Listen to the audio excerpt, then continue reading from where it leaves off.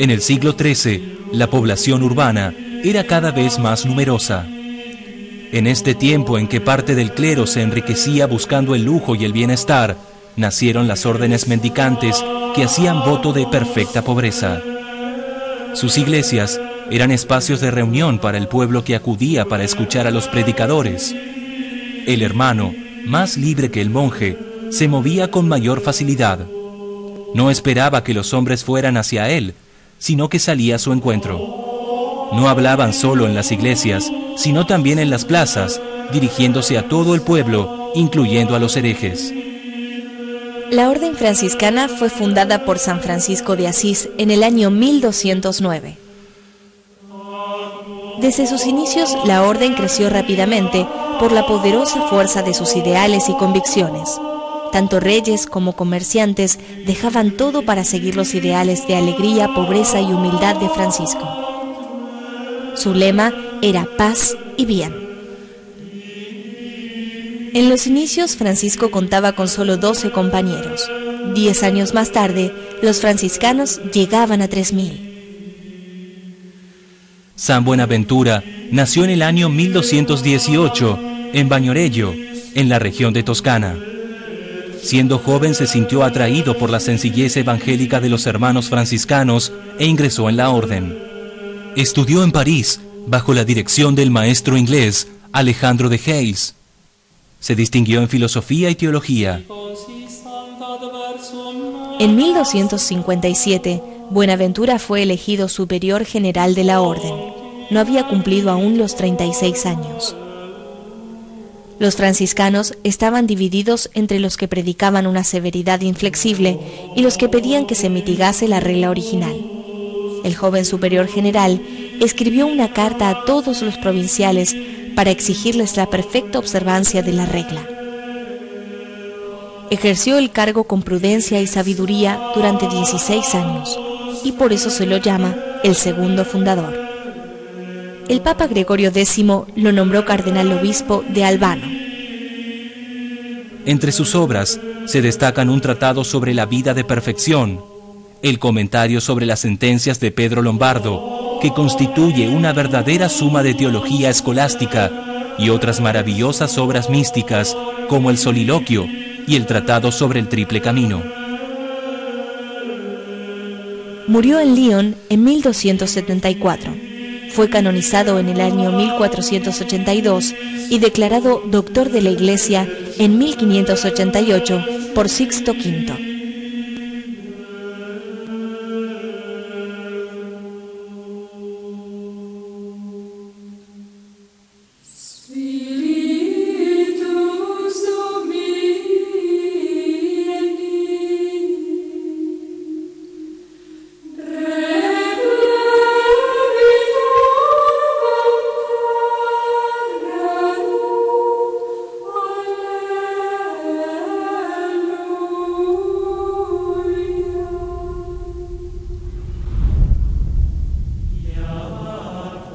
Jesús, en quien se desean mirar los ángeles. Tenga siempre mi corazón hambre de ti y el interior de mi alma rebose con la dulzura de tu sabor.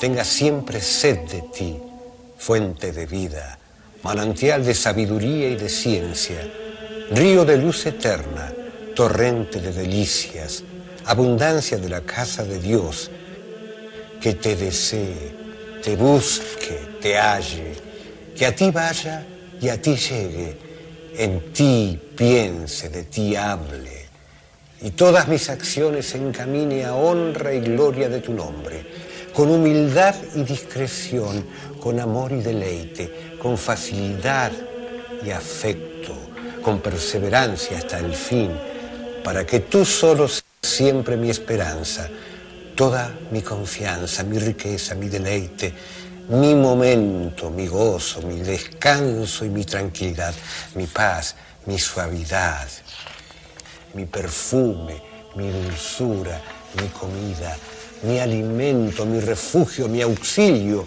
mi sabiduría, mi herencia, mi posesión, mi tesoro, en el cual esté siempre fija y firme e inconmoviblemente arraigada mi alma y mi corazón.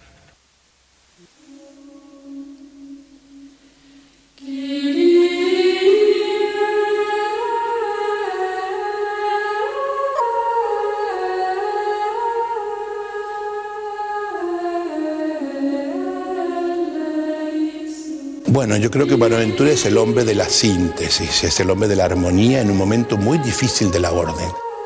La orden eh, nace, como yo decía, con Francisco de Asís. Francisco de Asís es un hijo de mercader, hijo de la ciudad, hijo del urbe, hijo de esta nueva clase social que engendra y piensa el proyecto histórico en torno al poder y a la riqueza. ¿Eh? Francisco es el que se decepciona de esto y se da cuenta que el sentido de la vida pasa por otro lado. Pasa por lo opuesto a la, a la riqueza y al poder. Pasa por la desapropiación, el despojo y la humildad, que eso lo aprende del el Cristo. ¿eh? Francisco va a tener tres claves, el Cristo del pesebre, el Cristo de la Palestina, el Cristo de la cruz. Buenaventura queda fascinado por esa propuesta de Francisco. El secreto de la felicidad está en liberarse de toda propiedad. El secreto de la felicidad de la vida está en vincularse en el amor y desvincularse del poder. ¿Eh? Y Buenaventura va a vivir radicalmente esto, y de hecho a él se lo va a llamar el, el doctor seráfico. ¿Por qué? Porque toda su filosofía y toda su espiritualidad va a girar en torno a la palabra serafín. Serafín es el ángel ardiente más cercano a Dios. Es como el icono del amor ardiente.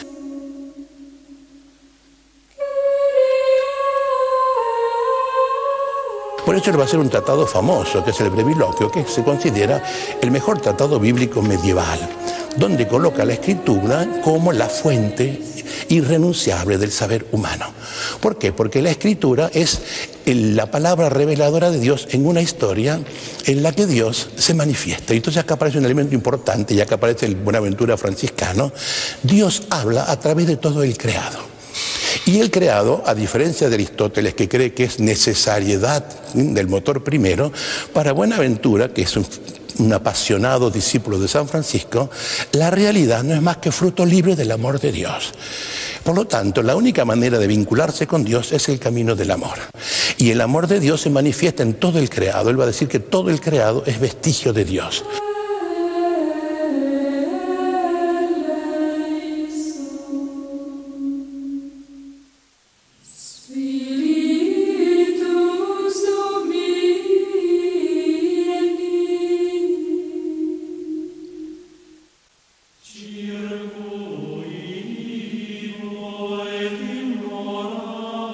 Te agradezco, Señor, haberme permitido esta visita a mis hermanos.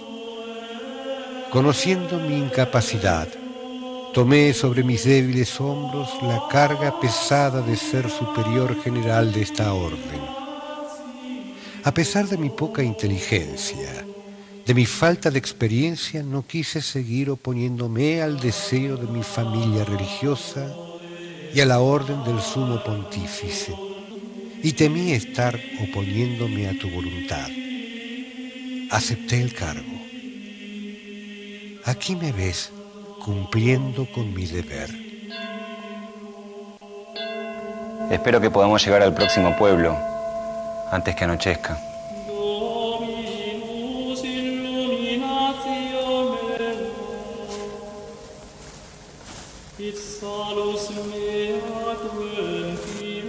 Disculpen, hermanos, ¿se marchan? Estamos esperando al padre.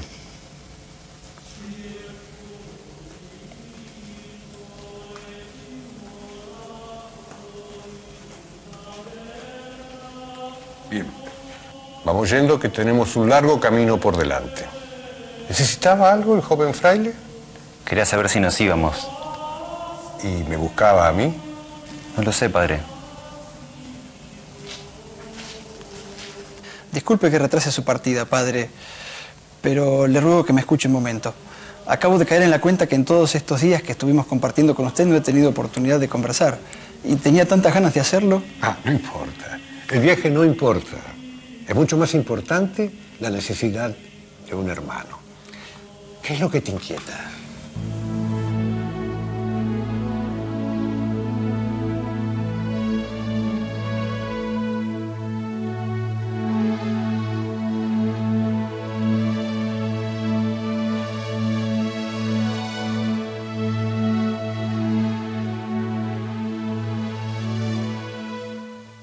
Hermanos míos, perdónenme, pero tenía que cumplir con mi deber.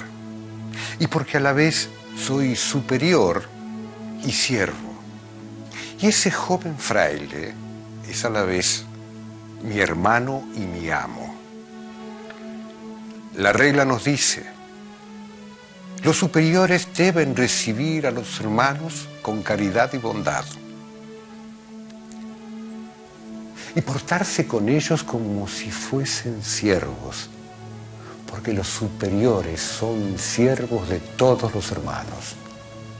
Así pues, como superior y siervo, estaba yo en la obligación de ponerme a la disposición de ese joven fraile que es mi amo y tratar de ayudarle lo mejor posible en todas sus necesidades.